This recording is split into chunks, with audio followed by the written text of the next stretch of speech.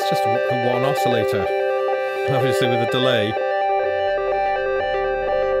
Let's see what happens with bringing in this sub now.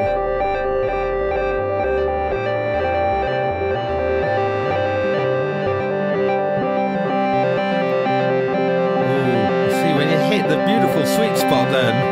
See how lovely that just became.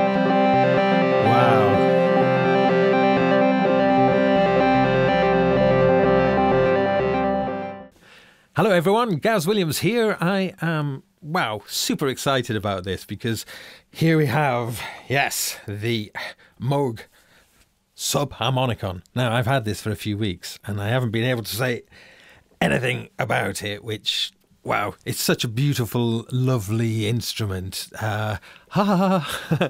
I'm having a little bit of a a little bit of a love affair with it. Now, one of the things you will see absolutely uh, prominent is this patch panel. Uh, so. This patch panel means you can route things internally, but also externally. And yes, this thing is Eurorackable, and I am going to put it in my Eurorack. So if you've seen my video recently, which was a, like a live stream talking about my first Eurorack, well, here is the second one. And uh, yeah, I mean, whoo, it is a very awesome piece of kit. um, yes, so 20th of May, I'm going to do a live stream where I put this into my Eurorack. So please join us there. Anyway, what is this exactly? Well, please go and watch Ed's review on Sonic State first. So I don't have to explain anything.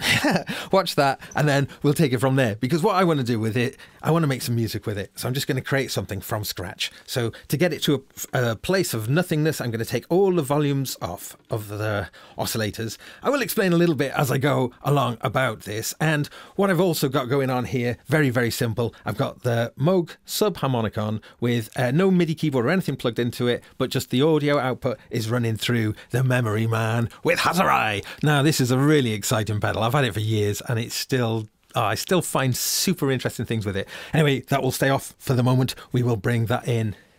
And yes, it will be a momentous time because, you know, as great as this thing is, the combination of this and effects, as you'll see, is just dynamite. The layout of this is super interesting. You've got two oscillators. Both oscillators have two sub oscillators, hence its name, subharmonicon. This is dealing with the subharmonics. It's great. I think the Trautonium, it's a syn- like a synthesizer, I guess you can call it that, an early electronic instrument that uses the concept of subharmonics, which is about dividing down from your root rather than building harmonics up if that makes any sense.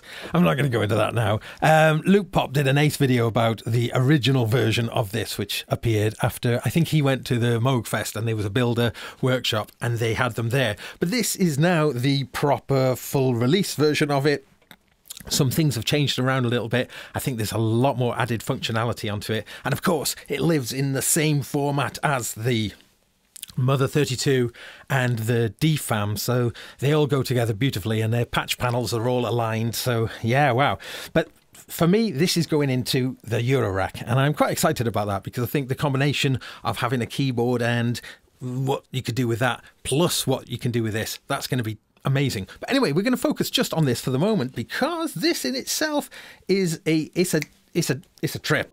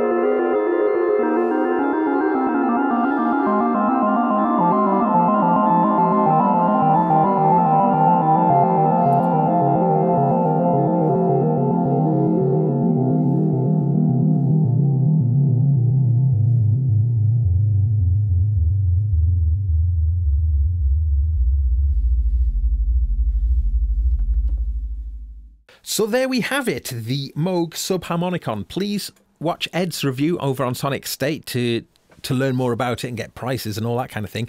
I just wanted to go on a bit of a journey with it. But also, I am going to be putting this into my Eurorack on May the 20th, um, 8 pm UK time. So please join me for that because I'm not going to do it before then. So everything that I do will be the very first time that I'll have done it. But thanks so much for joining me on this little kind of voyage. And I think we should do a little bit of a play out too. So catch you soon. Uh, I'm Gaz Williams. Bye for now.